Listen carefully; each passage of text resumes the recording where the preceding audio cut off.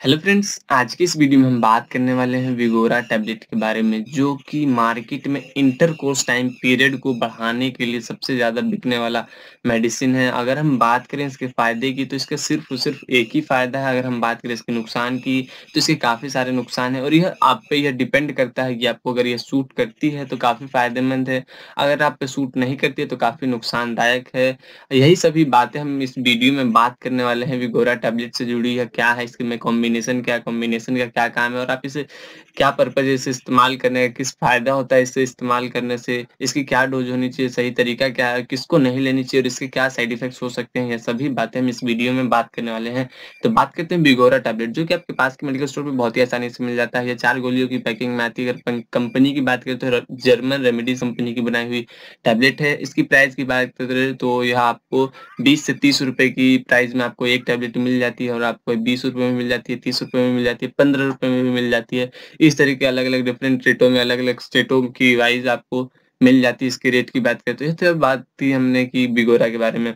अब हम बात करते हैं बिगोरा में कॉम्बिनेशन तो बिगोरा में सिर्फ़ और सिर्फ़ एक ही कॉम्बिनेशन है, जो कि सिडनाफिल सिट्रेट है, जो कि अगर आपको सूट कर जाता है तो काफ़ी यूजफुल अगर सूट भी करता है तो आप इसे लंबे समय तक बिल्कुल इस्तेमाल ना करें इस कॉम्बिनेशन को, कि अगर आपको आगे चल के इसके नुकसान हो सकते हैं, अगर आपको कोई और अगर आप मेडिसिन लेते हैं इंटर इंटरकोर्स टाइम पीरियड को तो आपको वो असर नहीं करेगी, क्योंकि काफ़ी हैवी होती है सिग्नाफिल, जो कि इंटरकोर्स टाइम पीरियड को बढ़ाने के लिए ही सबसे ज़्यादा इस्तेमाल करता है। मतलब संभोग समय को बढ़ाने के लिए इस्तेमाल किया जाता है। ये होता है सिग्नाफिल का फ़ायदा, यह इस पर्पज में इस्तेमाल होता है। अब हम बात करें इसके सिर्फ़ सिर्फ़ एक ही फ़ायदे के बारे में, जो कि intercourse time period erectile dysfunction का वीर्य संकलन, जल्द वीर्य संकलन हो जाना संभोग के समय, इस तरह की समस्याओं को दूर करने के लिए काफ़ी फ़ायदेमंद होता है। यह और सिर्फ़ और सिर्फ़ आपको प्रॉब्लम को सोल्व नहीं करता है या सिर्फ़ और सिर्फ़ इंस्टेंट बूस्ट देता है, जिससे आपको इंटरकोर्स समय या स्टेमिना ज़्यादा हो जाता है, जिससे आप इंटरकोर्स में आप ज़्यादा समय लगाते हैं, इस तरीके की फ़ायदे होते हैं, सिर्फ़ और सिर्फ़ इस तरीके से होता है।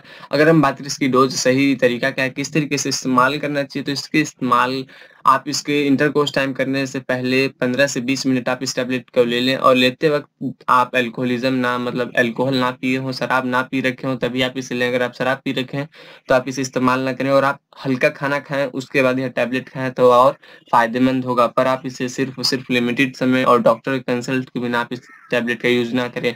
अब हम बात करें इसके साइड इफेक्ट्स के बारे में तो इसके साइड इफेक्ट्स जैसे कि आपको काफ़ी सारे साइड इफेक्ट्स हो सकते हैं। अगर आपको सूट नहीं करता तो सर दर्द, आँख में आँखों का लाल होना, सर दर्द हार्ट से प्रॉब्लम जुड़ी किडनी लीवर जैसी गैस की प्रॉब्लम कब्ज, इस तरीके के साइड इफेक्ट्स हो सकते हैं। अगर आप लंबे समय तक लेते हैं तो आपको काफ़ी सारी नुकसानदायक हो सकते हैं। जैसे कि पे किडनी पे इफेक्ट्स पड़ते हैं, सर पे इफेक्ट्स पड़ता है, सर दर्द होता है, गैस की प्रॉब्लम होती है, इस तरीके के साइड इफेक्ट्स होते हैं, अगर आप इसे लंबे समय तक लेते हैं, आप इसे कभी कभी ले सकते हैं नॉर्मल स्तर पे अगर आपको बहुत ज़्यादा चांसेस हो, तब आप इसे बहुत ही रेयर ही लें, नहीं तो आप ना लें तो काफ़ी फ़ायदेमंद होगा, और आप एल्कोहलिज्म व्यक्ति हैं तो आप इसे बिल्कुल इस्तेमाल ना करें, अगर आपको किसी तरह का मेडिसिन कोर्स चलता है तो अभी आप इसे इस्तेमाल ना करें तो यही था बिगोरा के बारे में जानकारी, अगर आपको वीडियो जानकारी अच्छी लगी तो प्लीज़ लाइक कीजिएगा, और हमारे चैनल को सब्सक्राइब कीजिएगा और आपको ये वीडियो को देखने के लिए धन्यवाद। थैंक यू फॉर वॉचिंग आपको यह जानकारी मिल चुकी होगी। आपको यह जानकारी कैसी लगी है ज़रूर बताइएगा कमेंट्स में। तो आज की इस वीडियो में बस इतना ही। धन्यवाद।